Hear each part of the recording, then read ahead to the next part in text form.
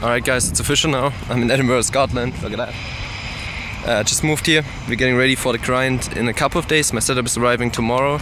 Today's uh, Tuesday. I'm gonna upload it today, so it should be there tomorrow, and then I can start streaming again. So we have the normal videos again. Sorry for the lack of uploads, but just wasn't doable, and I just took some time off.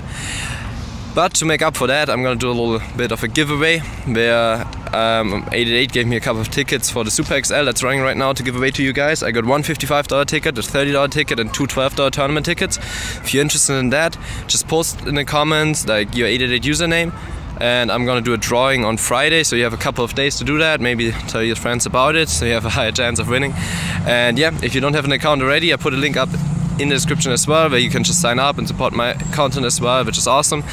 And we can do more giveaways like that. So yeah stay tuned. As I said videos are coming again in a couple of days. Right now I'm just chilling in the park and taking it easy.